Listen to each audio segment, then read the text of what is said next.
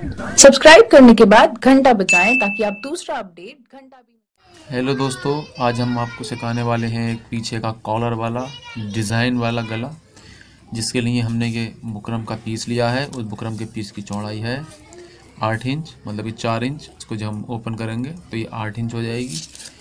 और यहाँ से इसकी लंबाई हमने नेक की रखना है साढ़े छः इंच। साढ़े छः इंच गले की लंबाई होने के बाद में हमें डिज़ाइन कुछ इस तरह का बनाना है। ये कॉलर वाला डिज़ाइन है पीछे का। मैंने एक वीडियो जिसमें बनाई हुई है, उस वीडियो में लोगों ने पूछा है कि उसमें मैंने म्यूज़िक डाल दिया था वीडियो में तो उसमें कुछ मेज़रमेंट वैसे दिखाया इंच टेप से, मगर बोल के नहीं बताया है। तो मैं इसमें आपको बोल के बता रहा हूँ कि कुछ डिज़ाइन इस तरह का हमें अपने चौक से इस तरह का डिज़ाइन एक उतारना है। और इसको बुकरम के एक पीस पे इस तरह से आप कट कर लेंगे। इसको पौन इंच का मार्जिन छोड़ते हुए इस तरह से आप काट लेंगे। काटने के बाद में जो ये हमारा बुकरम का पीस है, वो कुछ इस तरह दिखेगा। ये आप देख लीजिए, कुछ इस तरह। ठीक है? आप चाहें तो इसको गोल शेप भी दे सकते हैं। और आप चाहें तो इस तरह का भी काट सकते हैं। हमने इस पर सिलाई लगा ली है अब हम इसको आधा इंच के मार्जिन से इसको इस तरह कट कर लेंगे।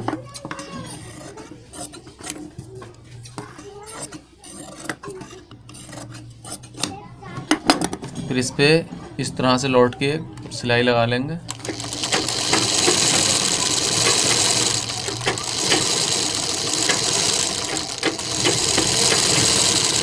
कुछ इस प्रकार।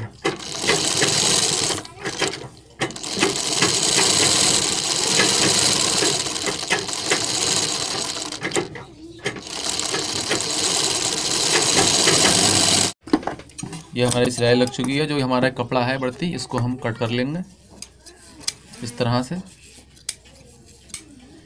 और कट करने के बाद इसको डबल इस तरह करके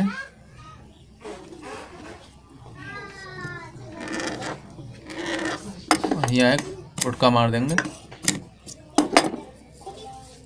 इस तरह। अब ये हमारी कुर्ती की बैक साइड है, जिसको हमने डेढ़ इंच गोलाई कट कर रखी है, और इसको हमें इसके बीच में भी एक ऐसे सेंटर में ला के और एक कट मार लेंगे। उस कट से इस कट पे और इस कट को मिला के इस तरह बीच में सिलाई मार के इसको रोक देंगे बीच का सेंटर ध्यान से मिला लें और ये सिलाई लगा लें। धागा कट करने के बाद बुकरम की नीचे नीचे जड़ में सिलाई लगाना है।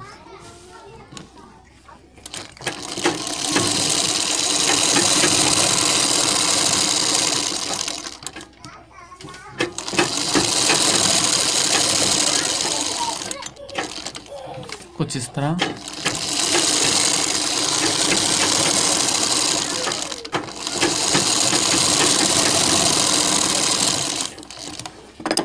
ये हमारी सिलाई लग चुकी है। सिलाई लगाने के बाद में हमें इसको इतना इतना मार्जिन देके इसको कट करके और यहाँ गोलाइयों पे कट मार लेना है। हमने कपड़ा कट कर लिया। कट करने के बाद में इसमें गोलाइयों पे इस तरह से ये कट मार लिए हैं। अब इसको हमें इस तरह से सीधा करना है। इस तरह से हमें लब की सिलाई लगानी है।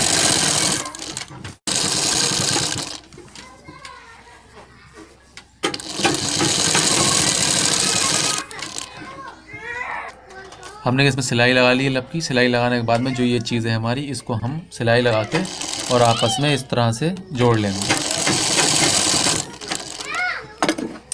अब इसको जोड़ने के बाद हमने ये सामने का गला तैयार कर रखा हुआ है, वो इस पर हम यहाँ से टीके इसकी जोड़ के बाद तो कॉलर बनाते हैं।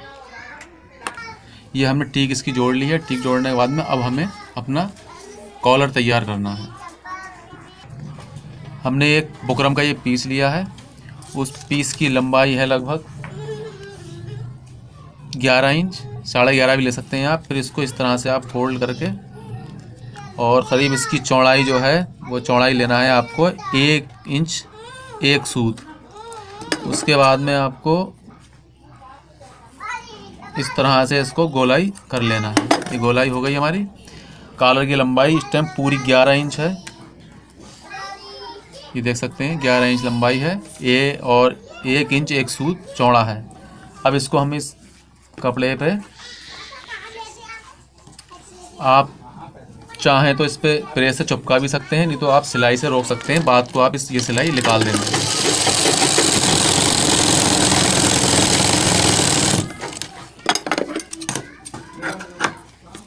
आप चाहें तो प्रेस से चिपका सकते हैं।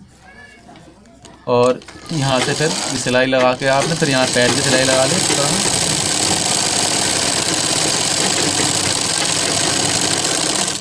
पैर की सिलाई लगाने के बाद में ये जो बढ़ती कपड़ा है इसको कट कर लें। इसको कट करने के बाद में आप इसको ऐसे फोल्ड करके और यहाँ पर बुकरम की जड़ में सिलाई लगा दें। केवल यहाँ से और यहाँ गोलाई तक। गोलाई से थोड़ा ज़्यादा ले लें, हल्का सा। गोलाई पे मत रोकना, वरना यहाँ नोक बन जाएगी। इसी तरह आपको इस गोलाई पे सिलाई लगाना है।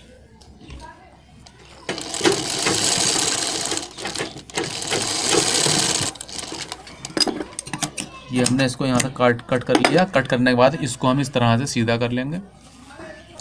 इस तरह से सीधा करने के बाद यहाँ से नाखून मार के इस तरह, चाहे तो आप प्रेस से इसको सही कर सकते हैं। और फिर इसको हम एक पैर का मार्जिन देके कपड़ा कट कर लेंगे। मतलब एक पैर का मार्जिन आपको, ये बुक कॉलर है तो यहाँ से एक पैर का इतना मार्जिन छोड़ना है। फिर इसको बीच में से ऐसे मिला के और इसको यहाँ बीच में कट मार देना है। कुटका मारने के बाद में अब हम अपनी कुर्ती उठाएँगे।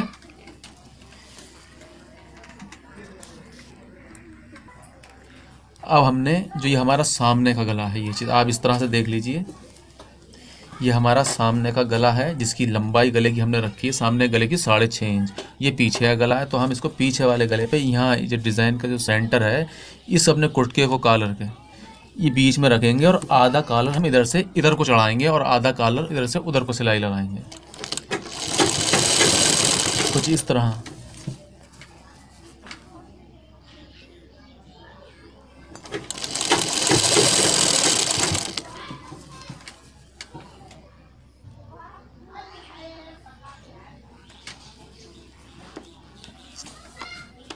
इस तरह सिलाई लगा दीजिए यहाँ से धागा कट करने के बाद आपका ये आधा कॉलर कंप्लीट है। अब आधा कॉलर हम इसको इधर से घुमा के इस तरह से और आधा कॉलर हम इधर को चढ़ाएँगे, जो हमने आपको बताया था। उसको इस तरह से।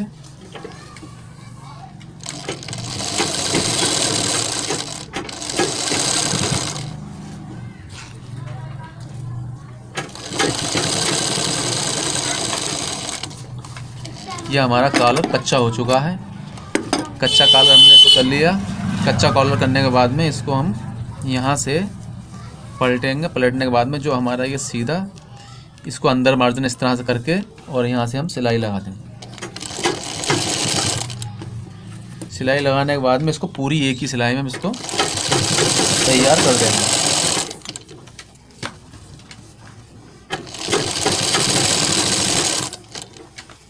इसको एक ही सिलाई में आपको चढ़ना, चढ़ाना है, कोई ऐसा नहीं है, क्या नाम है आपको?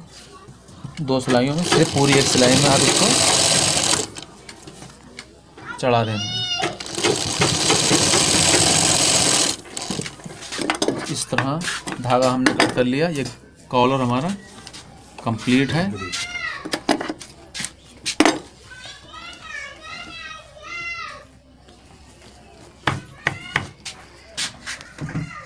यह हमारा आगे का गला है।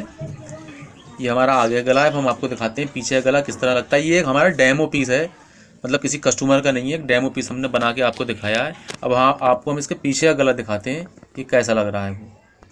ये हमारा पीछे का गला है, ये कॉलर है, आप देख सकते हैं, और ये हमारे पीछे का ढाला आप चाहें तो इसको किसी भी शेप में, किसी किसी भी तरह के शेप में, गोल या कहते कोना कैसे भी आप बना सकते हैं। अगर आपको हमारी वीडियो अच्छी लगी हो प्लीज़ तो हमारे चैनल को सब्सक्राइब करके हमें सपोर्ट करें। अगर आपने हमारा चैनल सब्सक्राइब कर लिया तो बहुत बहुत शुक्रिया। बेल आइकन बजा के प्रेस ज़रूर कर लें, जिससे हम अपने चैनल पे आपके लिए कोई वीडियो डालें तो नोटिफिकेशन सबसे पहले आपको मिल सके।